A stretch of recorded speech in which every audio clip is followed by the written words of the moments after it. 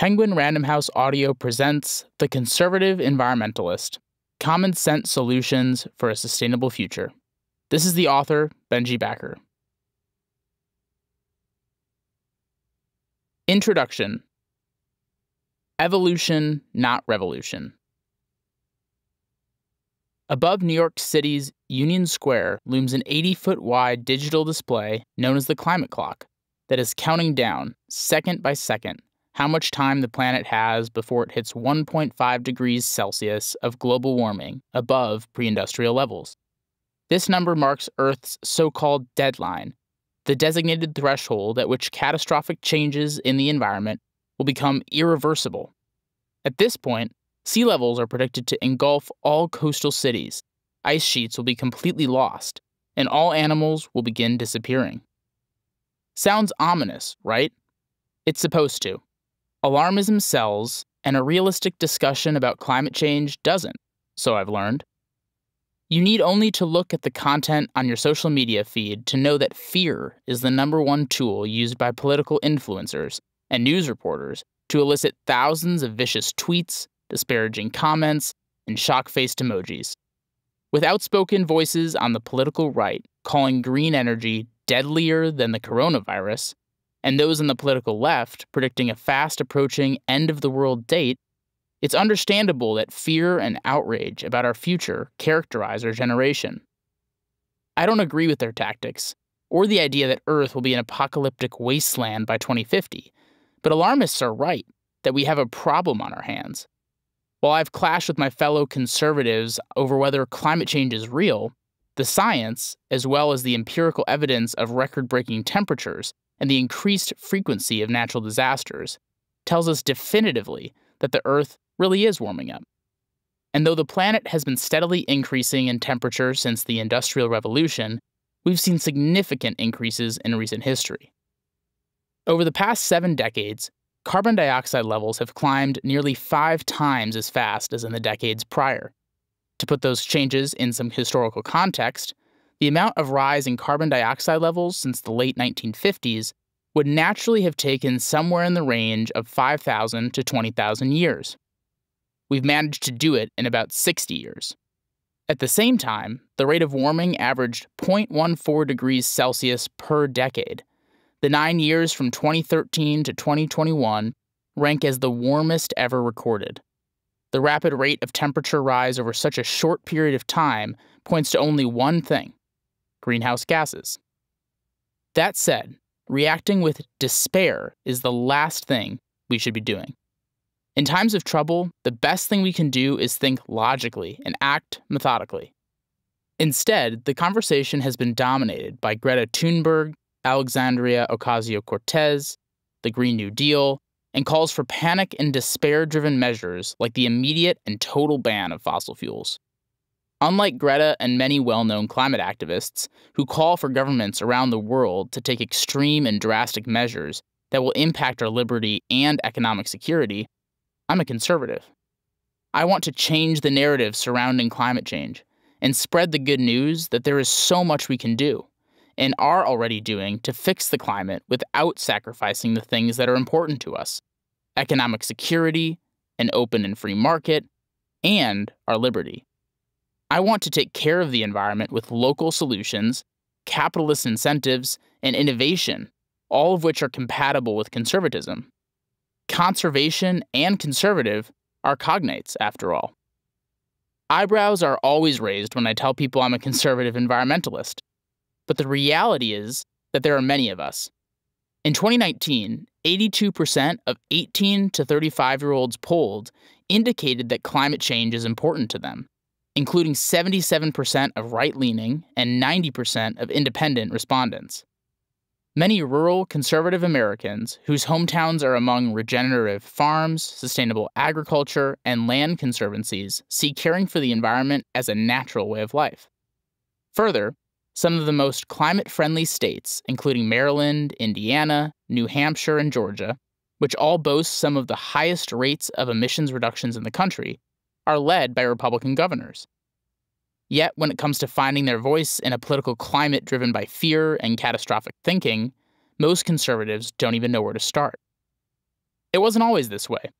The truth is, conservatives have a track record of enacting pro climate policies, even if you'll never hear about them in the mainstream media. Theodore Roosevelt earned his name as the conservation president when, during his time in office, he created 150 national forests, 55 federal bird reserves, and five national parks, altogether protecting approximately 230 million acres of public land. In 1970, President Nixon created the Environmental Protection Agency through executive order, which has since served as a cornerstone in the protection of human health and the environment. In his State of the Union address that year, he declared, The great question of the 70s is Shall we make our peace with nature and begin to make reparations for the damage we have done to our air, to our land, and to our water? Two years later, frustrated with the lack of movement on 18 environmental bills he hoped to pass, he delivered an urgent message to Congress. These problems will not stand still for politics or for partisanship. When all was said and done, Nixon ended up leaving a legacy of legislation like the National Environmental Policy Act, Clean Air Act, and Endangered Species Act. During his term, President Ronald Reagan set aside over 12.5 million acres of public land and helped mitigate the national ozone crisis by establishing the International Montreal Protocol, which succeeded in phasing out harmful chemicals from common household products. This policy was lauded as one of the greatest environmental achievements of the 20th century. George H.W. Bush, who succeeded Reagan, pledged that he would be remembered as the environmental president. Most famously, he advocated for and signed the 1990 Clean Air Act amendments, the most expansive environmental regulatory legislation in the nation's history. The act served to eliminate the dense smog present in nearly every major U.S. city. It also tackled the problem of acid rain caused by sulfur dioxide emissions from coal burning power plants, which had been devastating the lakes and forests of the northeastern part of our country. Even more notable than the success of Bush's environmental efforts was his economically creative, albeit times controversial, approach. Instead of the traditional command and control strategies that had dominated environmental policymaking, he used a cap and trade mechanism that harnessed the power of the market. The government wouldn't tell polluters how to lower emissions, but simply imposed a cap on them each year. Eight years later, George W. Bush would carry on his father's environmental legacy, signing a historic bipartisan legislation that accelerated the cleanup of toxic brownfields, land formerly used for development that has significant environmental contamination, as well as implementing the Healthy Forests Initiative, which helped restore valuable woodlands and rangelands and reduced forest fires. The younger Bush also designated nearly 140,000 square miles of the northwestern Hawaiian Islands as a marine national monument. Conservative climate action champions continued to make headlines on the state level, too. Republican California Governor Arnold Schwarzenegger signed the California Global Warming Solutions Act, making California the first state in the nation to cap greenhouse gas emissions. The governor is famous for declaring, California will not wait for our federal government to take strong action on global warming. International partnerships are needed in the fight against global warming, and California has a responsibility and a profound role to play to protect not only our environment, but to be a world leader on this issue as well. He would make good on his word by leaving an impressive legacy of environmental firsts, including the creation of the Western Climate Initiative, the world's first international carbon action partnership, in collaboration with European Union countries, other U.S. states, and Canadian provinces, and the first in the nation mandatory Green Building Standards Code, also known as Cal Green. My goal is to carry on this long tradition of conservative environmentalism. This book is the culmination of seven years of on the ground conservative climate advocacy focused on shifting the narrative from partisanship, divisiveness, and rhetoric into one of solutions, actions, and results. I'm writing it because I'm tired of the tribal approach to climate policies that pits well meaning people against one another in an ongoing battle of moral and intellectual self righteousness.